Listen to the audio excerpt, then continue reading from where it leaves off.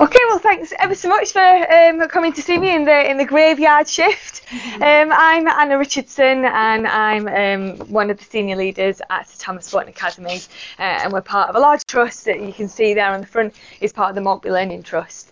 Um, we're based at a school in Doncaster. It's got quite high levels of deprivation, and I think when we're in this the session this morning, some of the messages and the ideas that were coming through were, were just felt really pertinent to our setting and um, and and the deprivation and challenges that many of our students um, face and I think just really give a real purpose for what we're doing today and why building a reflective school culture is so important. So um, I'd just like you to consider these really high level um, questions and if you open your booklet you've just got those those uh, sort of dichotomous uh, preferences. Which image summarises how you like to holiday? Do you prefer to kind of get out there, explore or do you prefer to just chill out wherever you are? Just circle whichever one it is. Just just go for it as a go. I'm asking you to make a dichotomous decision here. I know it's sometimes more um, confusing than that or, or, or, or, more complicated than that. Then how do these images of Live and Kicking, the Spice Girls, the Troll Collection, mine had little gems in their belly buttons, um, Will Smith and uh, the American Adventure Theme Park, if you're from up north you'll definitely know what that is. If you're not from outside of Yorkshire you're probably not got a clue. Um, does it make you feel nostalgic? Does it make you feel totally indifferent? And then finally, which one would you enjoy more, a Sunday roast or a right good curry? Um, just make a just a really quick decision on each of those. And now this is the bit that you're going to hate me for and you're going to wish that you'd gone to another one. I want you to find someone, if you can, and it might be difficult, it's got an exact match. All right, I'm just going to give you a minute to do it. Try and find someone. Have, can you find someone that's got an exact? I did the same. That's so weird. Yeah. Uh, I don't know about the, Yeah. this one there. Yeah. Okay, so Well, I- I'm on that- I'm on that one. Yeah. on that one, I think I'm adventure. So that, that goes with that. Adventure, um, indifferent, and roast. Oh, so close Um, to nostalgic. so- Otherwise, we're the same. No, So, so the activity holiday, yeah. the activity park, the in the Yeah, middle, yeah. and then the roast. Yeah. Oh, go on in. Would you? Oh, you like Oh, nice. relaxing. Did it right? Yeah. On this. No, no, no, nostalgia. She's got that, I think. Yeah, but I've she's got- that. Oh, you don't want to see? No, you got the opposite. Did you go there for So when they're, they're Totally. So you might be wondering what uh, you know reminiscing on your troll collection necessarily has to do with creating a reflective school culture. Well, Daniel Coyle, in his 2018 uh, book, The Culture Code, suggested that creating connections, just like I suppose the superficial ones that we just sort of tried to create there, um, really help to forge a culture that's grounded in safety. And in the Culture Code, Coyle suggests that safety is one of the three grounding principles uh, for creating a strong school culture, and that's safety, vulnerability, and purpose. So, I'd like you to just consider actually, before we move on to looking at the groups, why is safety a key ingredient to building a reflective school culture? And also, why is it important to create connections? Why do connections help to build safety? So you've got those questions just on page um, two of your booklet. I'm just going to give you 30 seconds for each question. You might just want to jot down some ideas about that. Why is it that connections help to create safety? And why is safety important for a culture? Just one minute, 30 seconds on each question. It's for to give me your ideas.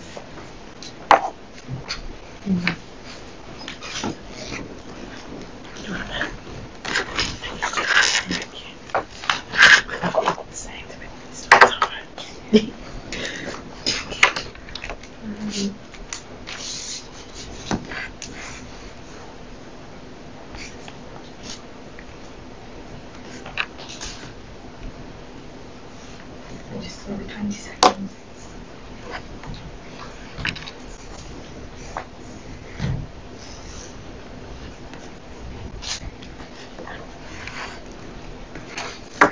Okay, let's just do a little bit of feedback if that's all right. So, why do we think that connections are firstly important for creating a sense of safety? Anyone want to share any of their ideas? I've just put, I've just put down sort of um, shared experiences. Yeah, yeah, absolutely. That that relatability, that shared understanding between you feel like you've got a connection with someone. Yeah, you do feel safer. Anything else? Anything else that anyone else was thinking? Honesty. And then gain honesty out of them. If you feel safe, then you will. Yeah, and, and if you feel that you've got that, that connection where you can be honest, yeah, then you're going to be much more safe. Yeah, absolutely. And uh, why is safety important then in a culture? Why is that one of the, the, the grounding principles that Coyle flags up in, in, in his book? Why do we think that safety is so key? Builds trust. Yeah, absolutely. Anything else? Trust for safety, absolutely. And if people are sort of, and if people feel safe, then they're going to buy into that that sense of what, what you're working towards and what, what what your common purpose is. And I suppose that's where it comes together. Sorry, I have a thought just to say quickly about sort of um, it keeps story.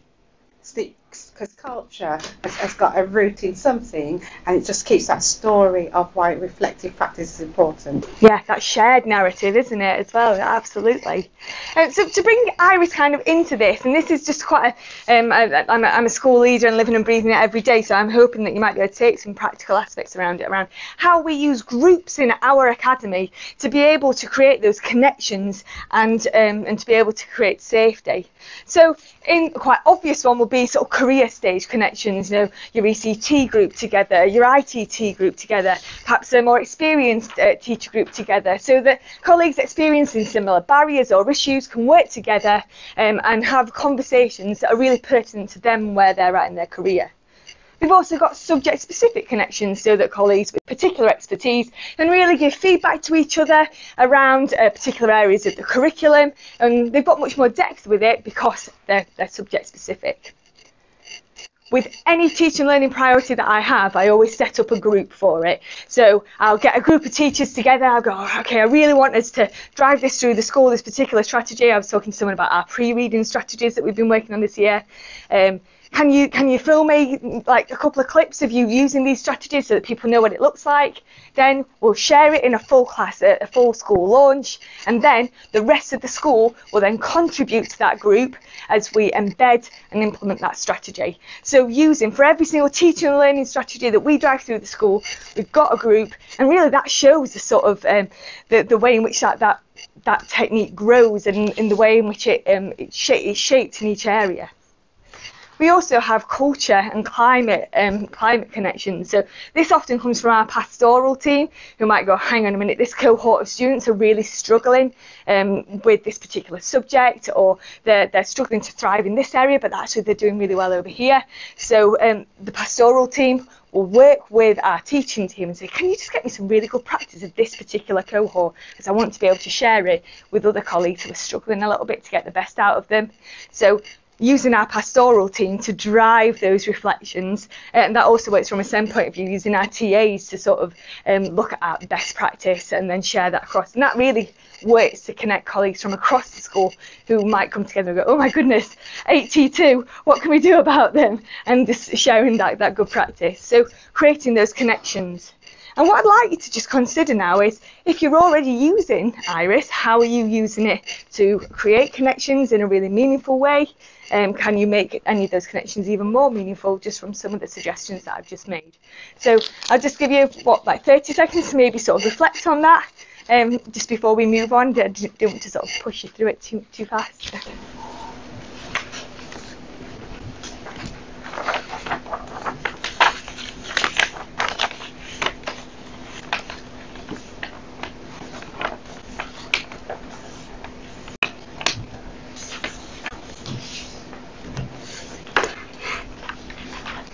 Are there any reflections there that anyone kind of wanted to share? Anything? Oh, actually, yeah, I could really do with setting up a group like that. That that would work well. Or we do this, and this works really well in terms of grouping colleagues together and getting them to connect where they might not usually. I think certainly across sites, so like especially with like your trust, sharing with other schools and seeing how they do things is a nice connection, I think, and yeah, the collaboration with others. Definitely, yeah. Okay, okay. So Coyle doesn't just suggest uh, sort of creating connections. Um, I don't think he even does up there. Um, but here are a range of different ways in which um, Coyle suggests that we can create safety. So there are quite a few, and I just kind of thought um, you could use those prompt questions, those four prompt questions, to just consider how maybe some of those strategies might be translated into your setting in order to create a sense of safety that you can then use to garner really uh, reflective school culture and, and, and yeah, organisational culture. So I will just give you two minutes. There's four questions there uh, for you to consider in terms of what you already do, that you, you do really well, what do you not do, that maybe you could start doing, what do you do, but maybe you could perhaps improve at it, and then what do you think, nah, that ain't for me. just two minutes.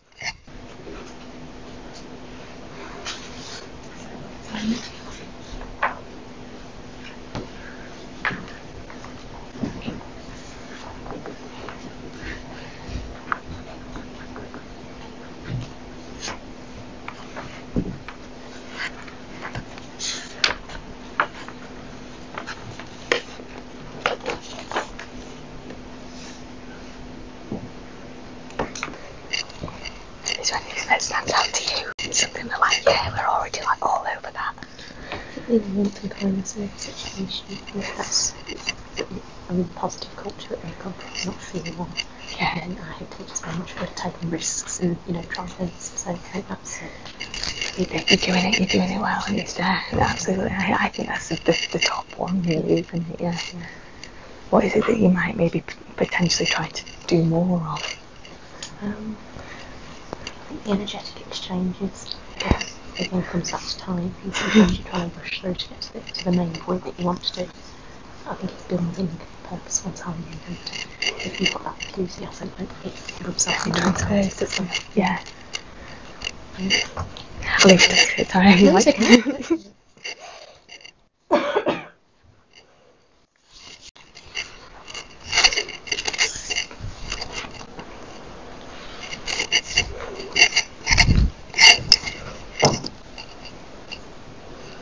Okay, shall we do a little bit of feedback in terms of anything that maybe you think, yep, we're all over that. We really do create safety really effectively using that particular strategy. Is there something on there that really resonated with you in your setting?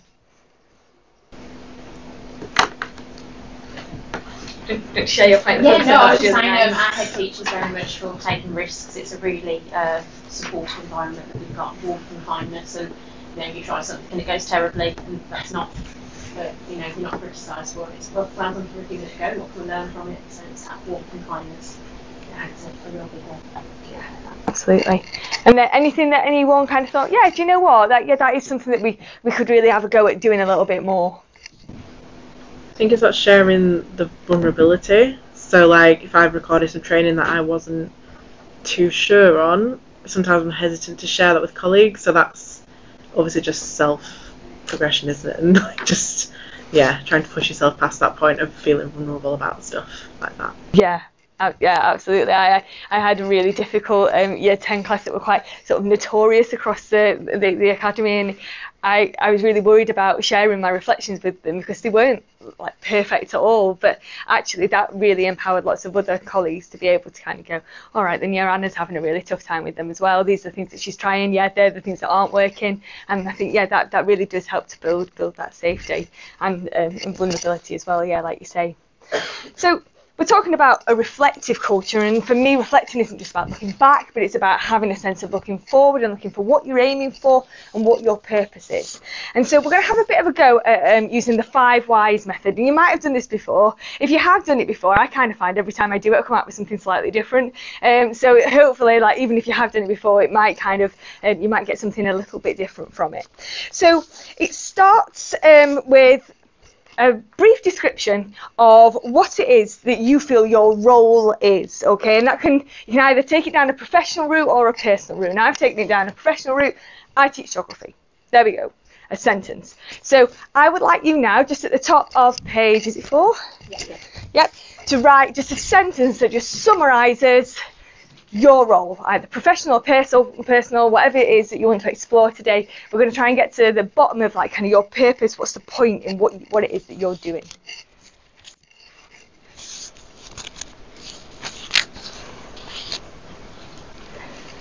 Okay. Now we're going to take that particular sentence and we're going to ask ourselves, why is that important? Okay, so for example, I teach geography because I want to pass on my passion. Why is that important? Well, because I want to expose students to those spectacular natural landscapes. Why else? Well, because I want them to understand um, natural resourcing and energy production. So I've asked myself why about that particular st- um, statement three times. I'd like you to do that now and write your statements right at the top of those three boxes. Why is this important?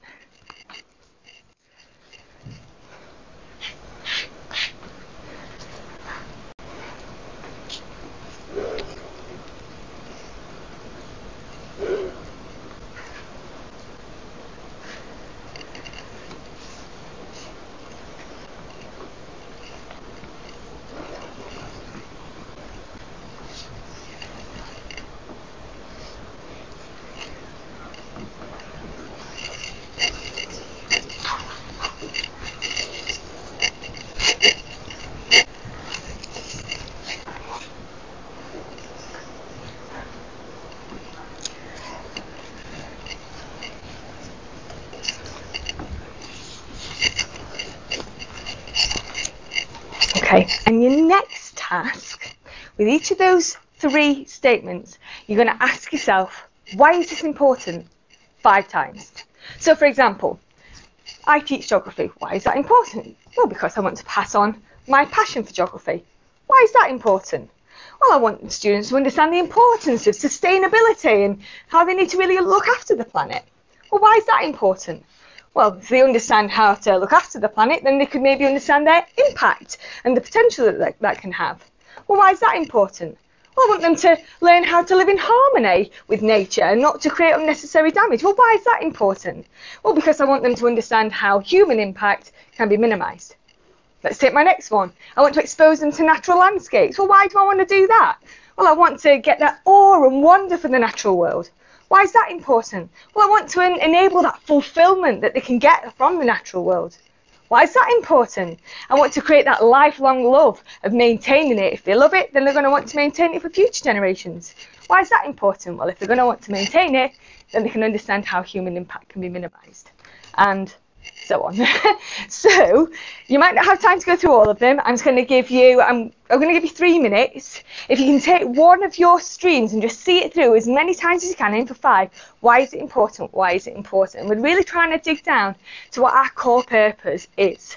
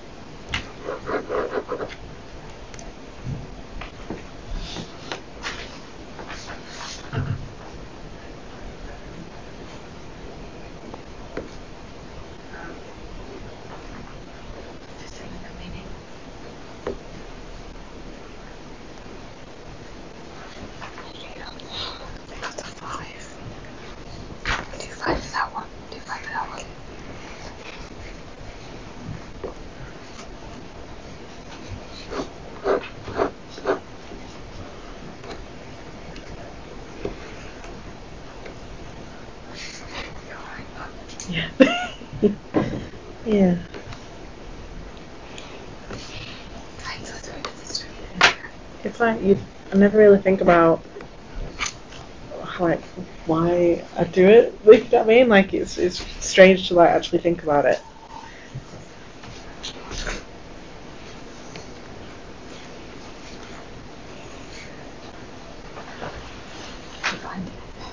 Yeah, it's, it's very uh, stimulating. And um, yeah, lots of crossings out, I think. uh, yeah. Mm. Mm.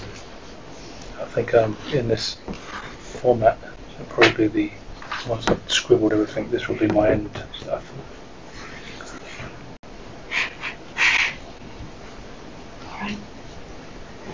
Stay out of the next one, is that it? How many more?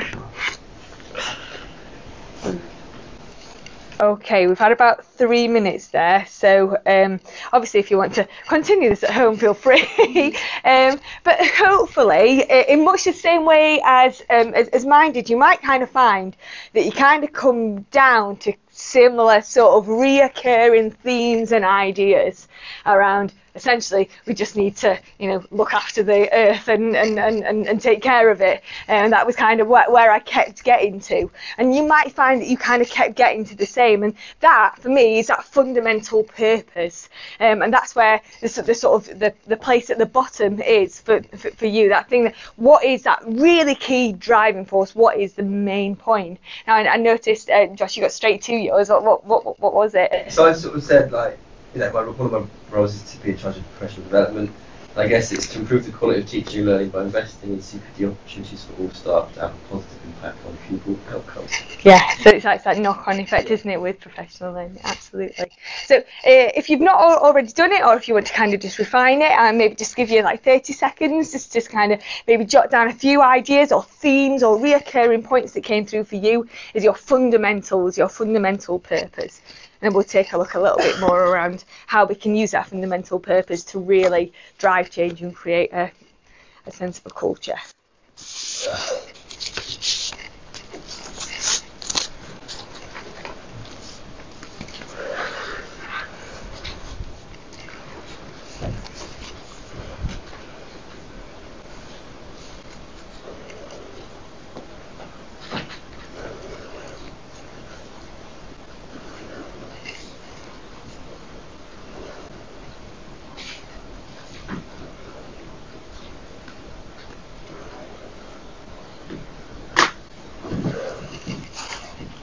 Now, I know I'd be unrealistic to suggest that we can all make time to sit down and go through the five whys with every member of staff that we're working with.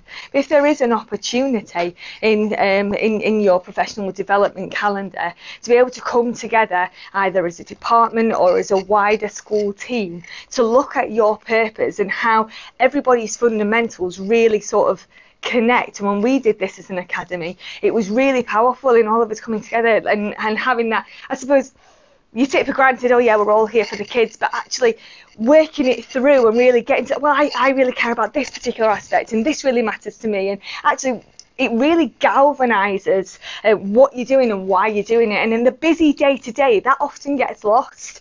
And I think whenever you're trying to use Iris and when you're trying to get colleagues to reflect on, on themselves and to have the time to go back through the clips and, and, and clip them down, having that core purpose at the at the real key and heart of it and driving that through I think is really important and sometimes it just it maybe just adds that additional purpose that perhaps gets that buy-in a little bit more um, to, to support your colleagues with reflecting.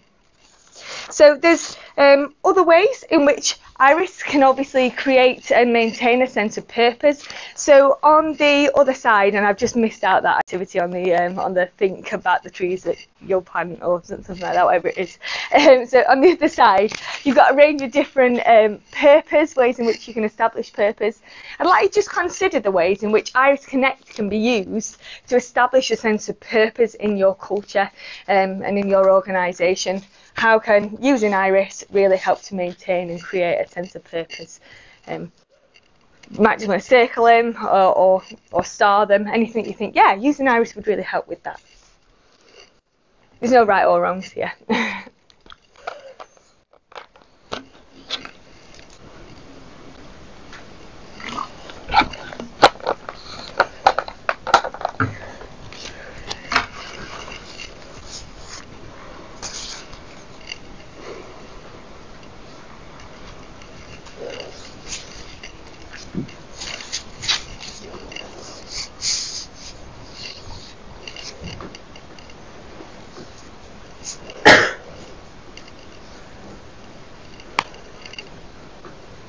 Want, want to share one of the um, strategies that Coyle suggests that we can sort of use Iris to be able to establish a sense of purpose?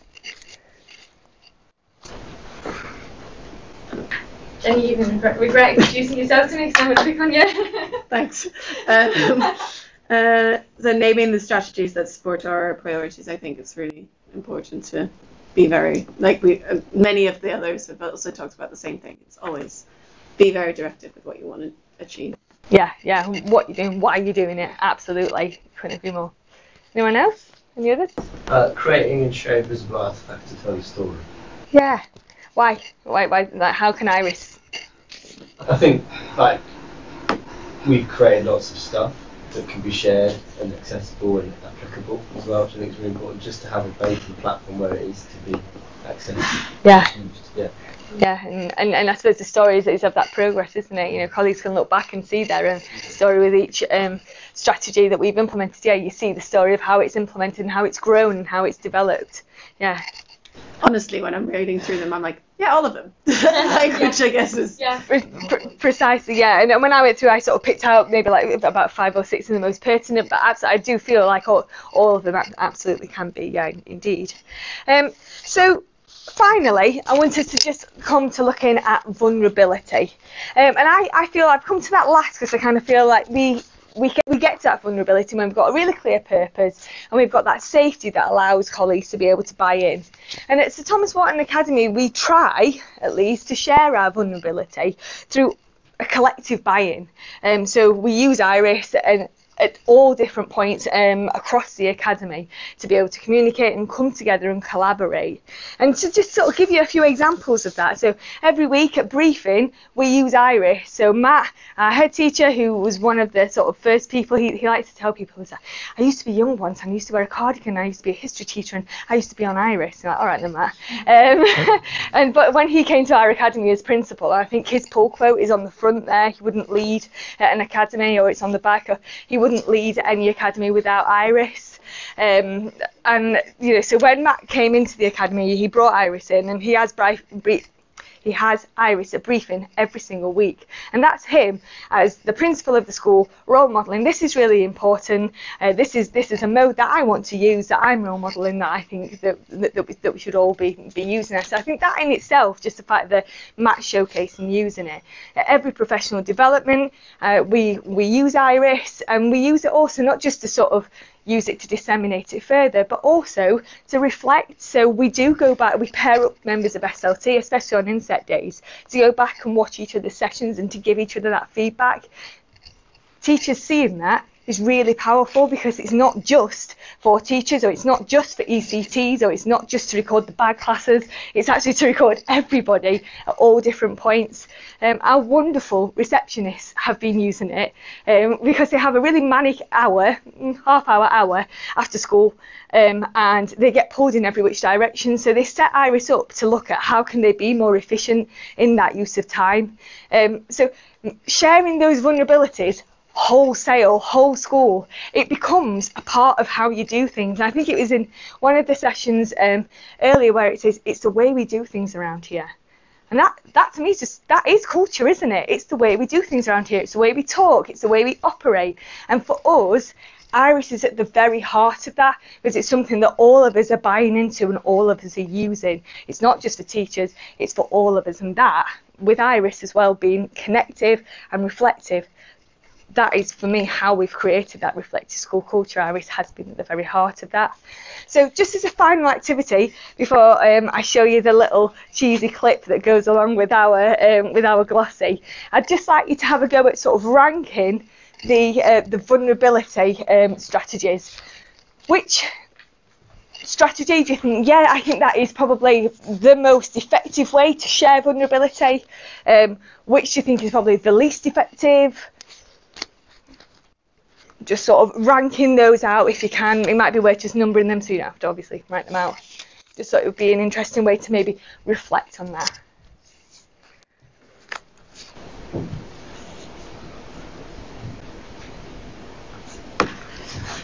Just the video ready.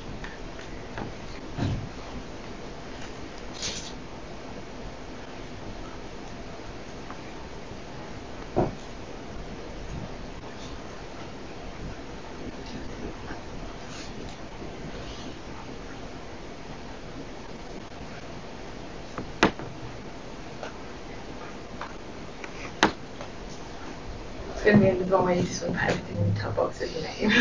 That'll be cheap.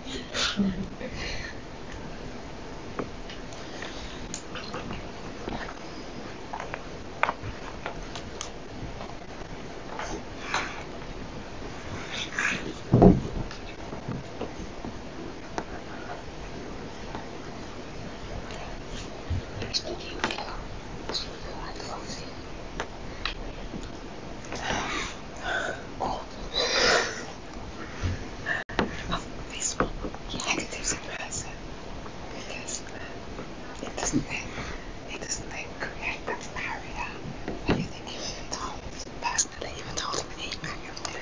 Yeah, it's been my biggest learning curve as a leader.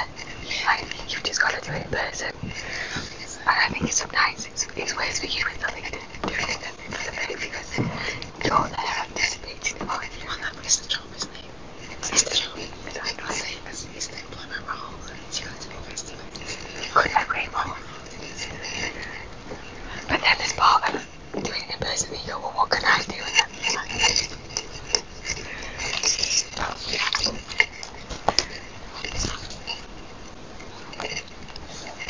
Okay, I'm aware of the time, so um, and I do desperately want to show you the video because it's just super cute. Um, so, um, can anyone maybe share with me the thing that they put in that top box? They felt, yeah, that I feel that's a really effective way of sharing vulnerability, and I think that's most, yeah, most effective. I put the debrief situations and build a shared mental model for future situations. So I know obviously they're all important, but I think to sit with someone and go through exactly what happened and say this is how we could change it, you know, for future. I think that's a really nice way to do it and not be too like head on about what went wrong and stuff. It's more, it's pretty much cooperative, which is one of the others anyway. But yeah, just yeah, I thought that was a good one. Yes, and I think sort of our little chit chat. Um, I think um, certainly sort of sharing any negatives uh, in person, face to face, and uh, I think you know it's not just what we're saying on information that we have to share, or it could be disciplinary. It's not just the employment role; it's the body language as well. So, and I think uh, although it is the job.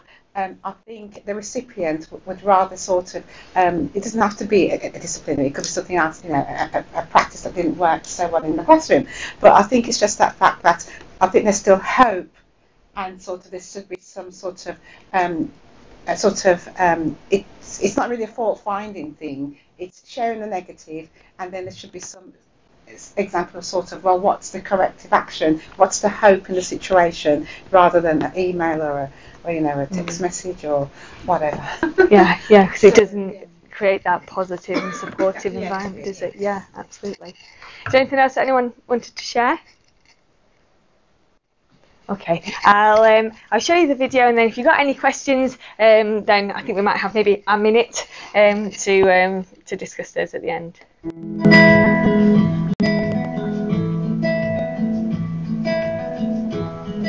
There's a lot I, of I wouldn't does lead it? in the academy without Iris Connect. It, it just supports everything that, that I want to do as a leader. It is it's a non-negotiable for me. I think emphasising the real sort of the privacy um, of the platform and the, the power that colleagues had over their own reflections. I think that was that was really vital to ensuring that colleagues understood the very premise of what it was all about, about putting them in control. I have used Iris Connect since I was in, um, in ECT, uh, which is about four years ago now. And it's been really amazing actually because I've been able to watch myself develop from not only over like a couple of months but over, over a few years. And it's been essential to my teaching practice. I haven't been teaching without Iris really.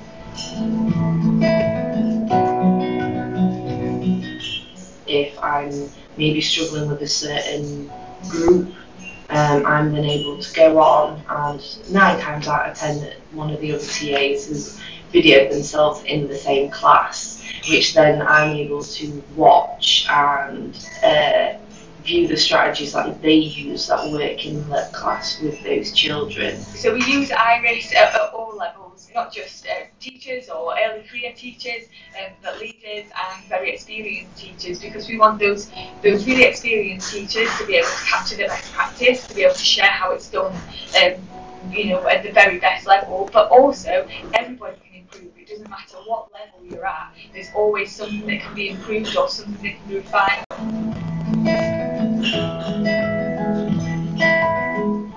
Yourself into it. I think it's a really beneficial tool that if you have got the opportunity to use it, absolutely take advantage of it. I prefer to sort of athletes using it and, and getting coaching from it. It's the same in teaching.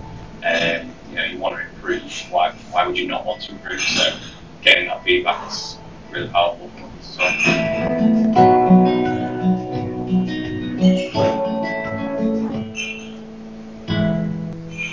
us as well. Oh, I told you it was cute. has, has anyone got any um, any questions?